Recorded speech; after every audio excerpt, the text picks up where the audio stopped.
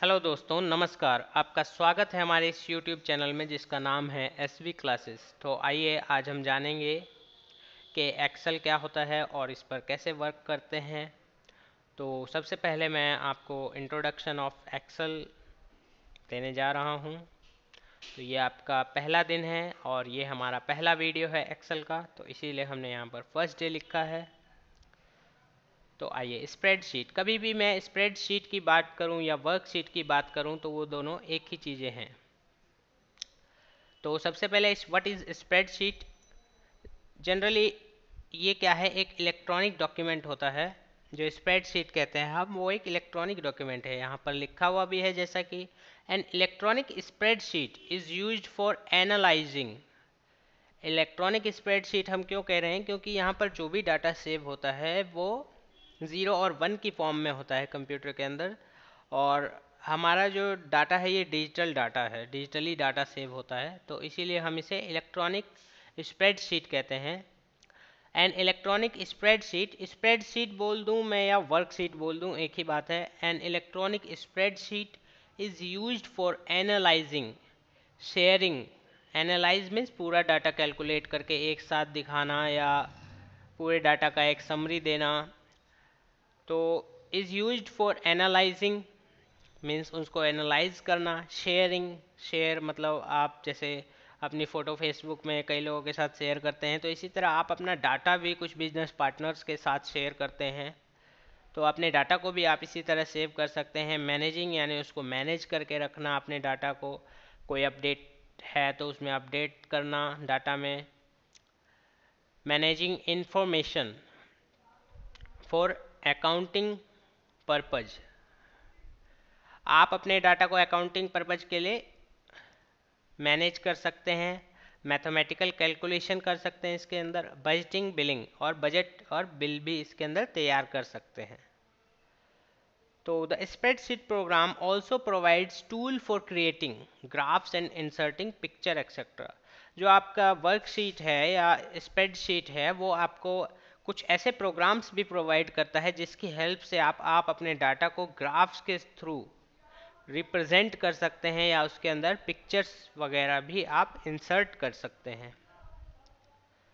तो आइए next page पर चलते हैं। तो दोस्तों, देखिए, यहाँ पर आपका एक्सेल का लेआउट दिखाया गया है। तो एक्सेल के लेआउट में आपके सामने है, ये देखिए यहाँ से ये है हमारा कॉलम और इसे कहते हैं हम रो। तो ये जो हैं, ये रो नंबर हैं, वन, टू, थ्री, फोर, ये हमने एक रो दिखाई हुई है और एक कॉलम दिखाया हुआ है।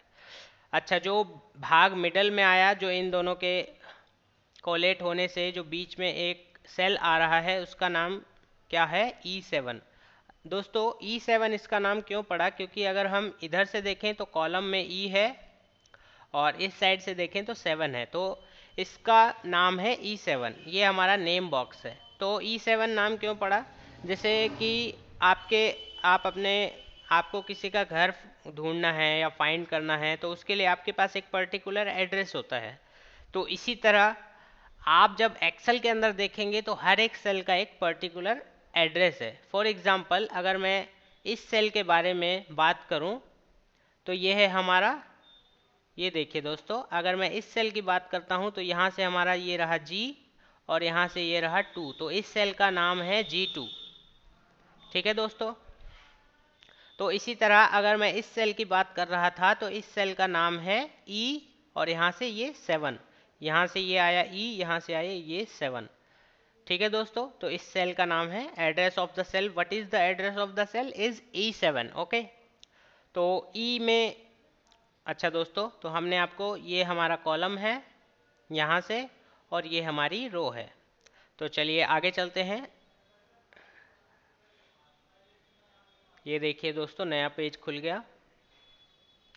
Elements of electronic spreadsheet. तो एलिमेंट्स क्या क्या होते हैं इसके अंदर? सबसे पहले इसके बारे में जानेंगे। A spreadsheet which is also known as a worksheet देखिए दोस्तों, मैंने आपको पहले भी बताया था कि स्प्रेड शीट को हम वर्कशीट भी कह सकते हैं।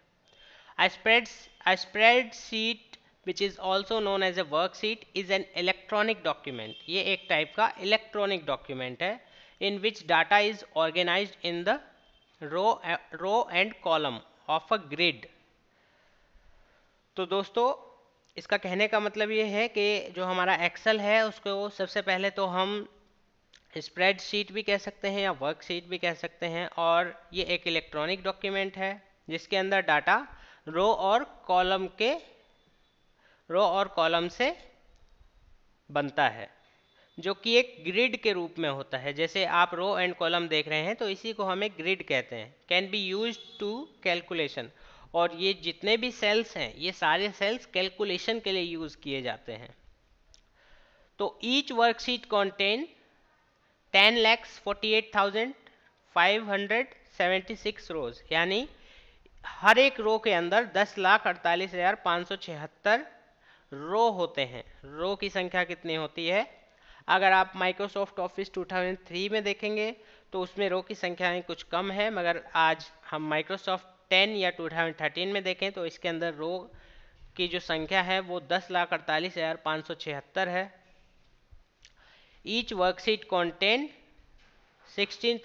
Three hundred eighty four columns अगर हम हर एक वर्कशीट की बात करें और आपसे कोई पूछता है कि इसके अंदर कितने कॉलम होते हैं तो आप कहेंगे सोलह कॉलम्स अच्छा दोस्तों, कई बार सवाल ये आ जाता है कि अगर इतने रो हैं और इतने कॉलम हैं तो सीधी सी बात है, इन दोनों को मल्टीप्लाई कर दीजिए और आपके पास उसके टोटल सेल आ जाएँगे. ठीक है दोस्तों? तो देखिए तो आपसे अगर कोई पूछ रहा है कि how many cells are in Microsoft Office 2010 या 2010 का जो माइक्रोसॉफ्ट ऑफ़िस है, उसके अंदर कितने सेल हैं? तो आप कहेंगे 17 अरब 17 करोड़, अंठानवे लाख, उनसठ हज़ार, एक सौ चौरासी। क्या है ये? ये इसके अंदर सेल्स हैं। सेल्स यानी जो हमने अभी आपको बताया, जो छोटे छोटे एड्रेस होते हैं जिसके अंदर। ठीक है दोस्तों? तो जैसे अभी अपने, हम हमने आपको बताया था कि ई e सेवन एक एड्रेस है तो इसी तरह से ये भी एक एड्रेस है। ठीक है दोस्तों, आगे चलते हैं। The intersection of each row and column is called cell अगर आप देख रहे हैं कि एक सेल ऊपर से और एक नीचे से कॉलम टकरा रहा है तो ये intersection of row and column तो इंटरसेक्शन अगर किसी भी रो एंड कॉलम का करेंगे तो बीच में एक डब्बा बनेगा जिसका नाम है सेल और उस सेल का कोई ना कोई एड्रेस होता है, जो कि मैं आपको थोड़ी देर पहले बता चुका हूँ। इट में भी होल्ड नंबर या तो ये नंबर इसके अंदर इसके अंदर जो एंट्रीज हम क्या क्या कर सकते हैं, उसके बारे में बताया जा रहा है कि इट में भी होल्ड नंबर नंबर फार्मूलाज या तो इसके अंदर नंबर हो सकता है फॉर्मूला हो सकता है, कोई भी टेक्स्ट हो सकता है, किसी का जैसे नाम लिख रहे हैं आप या किसी गाँव का नाम है, किसी जगह का नाम है तो कुछ भी टेक्स्ट हो सकता है डेट एंड टाइम एक्सेट्रा या तो आप उसके अंदर फिर डेट भी एंटर कर सकते हैं और टाइम भी एंटर कर सकते हैं। ठीक है दोस्तों, आगे चलते हैं। अब workbook is a document that contain one or more worksheet अच्छा तो जो वर्कबुक होती है वर्कबुक क्या होती है? जैसे आपके आपके पास एक किताब है तो वो आप एक्सेल के हिसाब से अगर देखा जाए तो वो आपके लिए एक वर्कबुक है। मगर वर्कशीट क्या है? जैसे किताब के अंदर कई सारे पेजेस हैं तो वो आपकी वर्कशीट है। या आपके पास एक कॉपी है तो कॉपी के अंदर जितने भी पेजेस हैं, उसको एक तरह से वर्कबुक मान लीजिए। ठीक है दोस्तों? तो आपके घर पे जो बुक पड़ी है, और एक्सेल के अंदर भी बुक है तो उसके अंदर कुछ पेजेस हैं तो एक्सेल में उसे हम सीट कहेंगे नॉर्मल लाइफ में उसे हम पेजेस कहेंगे। तो इसी तरह बाय डिफ़ॉल्ट एक्सेल के अंदर तीन शीट्स पहले से ही ओपन होती हैं। ठीक है दोस्तों? अब workbook is a document that contain one or more worksheet कहाँ तक होती है? दो सौ छप्पन वर्कशीट्स होती हैं इसके अंदर। ठीक है दोस्तों? A formula is an is an equation that calculate the value that to be displayed Excel के अंदर जब हम काम करते हैं तो हमें फॉर्मूले के ऊपर काम करना पड़ता है। तो इसका कहने का मतलब है Excel a formula is a equation formula एक ऐसा इक्वेशन होता है, जिसके ज़रिए आप जो आंसर चाहते हैं, चाहे वो गुना भाग करके हो या कोई फॉर्मूला लगा के हो तो वो आपको डिस्प्ले करके देगा, जो कि आंसर बिल्कुल करेक्ट होगा। अगर आपने करेक्ट फॉर्मूला लगाया है तो a formula when used in worksheet it must begin with equal to sign suppose that आप कोई भी फॉर्मूला एक्सेल के अंदर यूज़ कर रहे हैं तो वो हमेशा इक्वल टू साइन या प्लस साइन के साथ यूज़ कर सकते हैं। या आप चाहें तो किसी कोई कोई ऐसी कंडीशन हो जिसमें आपको नेगेटिव डाटा चाहिए नेगेटिव मार्क में नेगेटिव साइन में डाटा चाहिए तो उस कंडीशन में आप नेगेटिव एंटर कर, शुरू में नेगेटिव एंटर कर, करके भी उसका कैलकुलेशन कर सकते हैं। तो जनरली लोग इक्वल टू या प्लस का साइन यूज़ करके फॉर्मूला लगाते हैं। आइए आगे चलते हैं। A cell pointer is a boundary that specify which cell is active at a present time आपने देखा होगा सेल पॉइंटर के ऊपर, जिस भी सेल पर आप लिख रहे होते हैं, उसके चारों ओर एक काला काला बाउंड्री बनी काली काली बाउंड्री बनी होती है।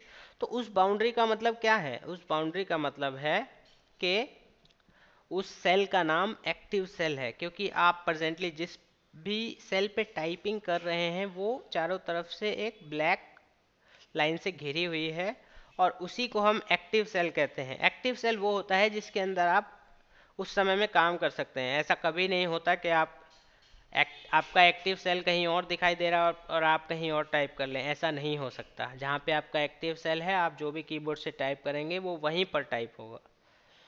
तो आइए आगे चलते हैं।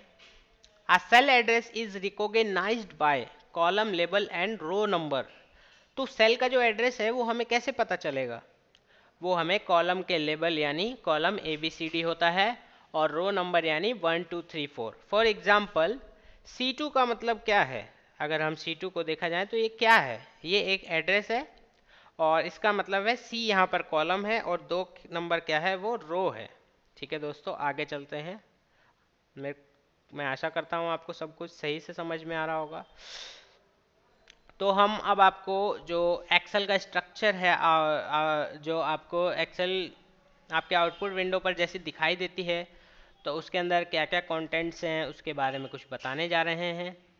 तो ये देखिए दोस्तों ये आपका टाइटल बार है टाइटल बार ठीक है दोस्तों टैब टाइटल बार है टाइटल बार के अंदर आप मान लीजिए अपने एक्सेल सीट को अंदर एक्सेल सीट को किसी नाम से सेव करते हैं तो वो नाम उसमें लिखा हुआ आता है, या बाय डिफ़ॉल्ट इसमें वर्कबुक वन वर्कबुक टू लिखा हुआ आता है, या न्यू माइक्रोसॉफ्ट एक्सेल वर्कबुक लिखा हुआ आता है। ठीक है दोस्तों? आप यहाँ पर देखिए, यहाँ पर देखिए आप, आपको यहाँ पर आप यहाँ पर देख रहे हैं, आपको यहाँ पर फॉर्मूला बार दिखाई देगा। ठीक है दोस्तों तो ये देखिए, ये जो आपका home insert page layout formula bar data review view ये जो जितने भी ऑप्शन हैं, इसको हम कहते हैं टैब लिस्ट तो ये है आपका टैब लिस्ट ठीक है दोस्तों, ये है आपका फॉर्मूला बार ये वाला जो बार आप देख रहे हैं। ये आपका फॉर्मूला बार है। तो मैं आपको टैब लिस्ट के बारे में बताता हूँ। टैब लिस्ट के अंदर हमारे ऑप्शन होते हैं home insert page layout formulas datas review view तो ये सारे जो ऑप्शन हैं, ये आपके टैब लिस्ट के अंदर आते हैं। इनको हम बोलते हैं जनरली टैब बोलते हैं। ओके दोस्तों? अच्छा ये आपका फॉर्मूला बार है। फॉर्मूला बार जनरली क्या होता है कि इसके अंदर आपको आप जो भी फॉर्मूला एक्शन एक्सेल के अंदर लगाएँगे, वो फॉर्मूला आपको यहाँ पर डिस्प्लेड होगा। ठीक है दोस्तों? ये आपका टाइटल बार है, जैसा कि मैं आपको पहले भी बता चुका हूँ। ये जो आपका नाम है, ये टाइटल बार के अंदर आता है। अच्छा क्विक एक्सेस टूल बार तो एक्सेल के अंदर हमें कुछ ऐसे टूल्स दिए गए हैं, जिसका आप क्विकली यूज़ कर सकते हैं। इसके नाम से ही पता चलता है कि आप यूज़ कर रहे हैं quick access tool bar means you have you can quickly access whatever you want. मान लीजिए आप चाहते हैं कि हम जो काम कर रहे हैं, उसे डायरेक्टली हम सेव कर लें तो आप इस बटन पर जाके क्लिक कर सकते हैं। ठीक है दोस्तों? अच्छा नेम बॉक्स मैंने आपको पहले भी बताया फॉर एग्जांपल हमारा ये वाला सेल जो दिखाई दे रहा है, ये एक्टिव सेल है। तो इस समय हमारा एड्रेस क्या है? यहाँ से ए और इस साइड से वन तो यहाँ पर देखिए नेम बॉक्स में ए वन तो नेम बॉक्स जनरली आपके सेल का एड्रेस बताता है, जो कि जो सेल एक्टिव सेल पे जब भी आपका कर्सर एक्टिव सेल पे है, या जो भी cell at present time active है, उसका ये एड्रेस बताएगा नेम बॉक्स ठीक है दोस्तों, अब आपको एक्टिव सेल क्या होता है? एक्टिव सेल जो है, जिसके चारों तरफ़ से काली काली बाउंड्री दिखाई दे, और जो भी आप अपने कीबोर्ड से टाइप करेंगे, वो उसी के अंदर टाइप होगा तो वही आपका एक्टिव सेल है। ये देखिए दोस्तों, इसे हम नॉर्मल सेल बोलते हैं, जैसे नॉर्मली हम इसे सेल भी कह सकते हैं। ठीक है दोस्तों, ये जो छोटे छोटे डब्बे आपको यहाँ पर दिखाई दे रहे हैं, इसे हम जनरली सेल कहते हैं। ठीक है दोस्तों, ये जो आपको वन टू थ्री फोर यहाँ ये आपको नंबर्स दिखाई दे रहे हैं, इसे हम कहते हैं रो नंबर और इसको कहते हैं, ये जो A B C D E F इसको बोलते हैं कॉलम लेबल अच्छा दोस्तों, ये है सीट टैब स्क्रोल बटन मान लीजिए ये, जैसे मैं सीट्स के बारे में बता रहा था तो ये तीन सीट्स बाय डिफ़ॉल्ट इसके अंदर पहले से ही ओपन है। अगर आप चाहें तो और भी सीट्स ओपन कर सकते हैं। ये देखिए दोस्तों, यहाँ पर वन टू थ्री सीट्स हैं। अगर मान लीजिए आप चालीस से पचास सीट्स चूज़ कर रहे हैं तो आप यहाँ पर हैं और चालीस से पचास सीट्स वो हाइड होंगे तो इधर की तरफ़ जाने के लिए यहाँ पर हम क्लिक करते हैं। ठीक है दोस्तों? तो यहाँ पर हम क्लिक करेंगे बैक यानी sheet number one two three देखने के लिए फिर इधर क्लिक करना पड़ेगा। ये देखिए दोस्तों सीट टैब है, इसके ऊपर आप जहाँ भी क्लिक कर देंगे, उस सीट पर आप चले जाएँगे। ठीक है दोस्तों? Insert sheet tab insert sheet tab का मतलब है कि आपके पास अभी बाय डिफ़ॉल्ट थ्री सीट्स हैं यहाँ पर। अगर आप यहाँ क्लिक करते हैं तो एक नई शीट और इंसर्ट कर सकते हैं मतलब शीट नंबर फोर ठीक है दोस्तों?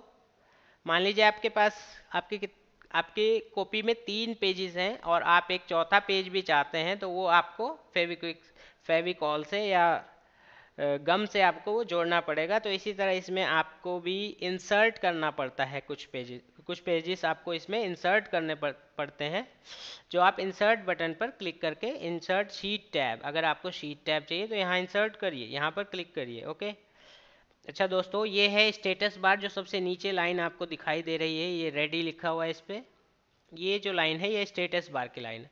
तो स्टेटस बार जनरली आपको, आप किसी भी पाँच छः सेल पर अगर सेलेक्ट कर लेते हैं, अगर पाँच छः सेलों को एक साथ सेलेक्ट करते हैं तो उसके अंदर जो भी डाटा है, उसका टोटल सम बताएगा, उसका एवरेज बताएगा और उसका काउंट बताएगा। काउंट मतलब आपने छः सेल सेलेक्ट किए तो वो काउंट करके बताएगा कि कितने सेल्स में डाटा है। फॉर एग्जांपल आपने छः सेल सेलेक्ट किए हैं और चार सेल के अंदर डाटा है तो वो काउंट के अंदर चार बताएगा।